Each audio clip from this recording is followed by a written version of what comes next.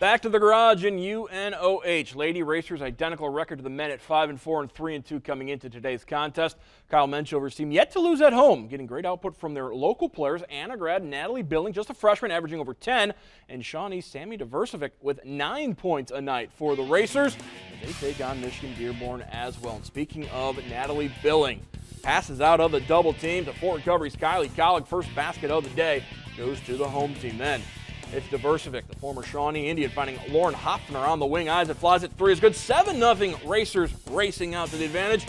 And keeping the passing game going around the world with Collig. And she heads straight to the hoop. Good clear out down low for two more points for UNOH. Racers also shooting well from outside. Diversivic, eyes and flies at three is good. She had 13 points. Finally, Van Buren grad Maddie Coldren left open.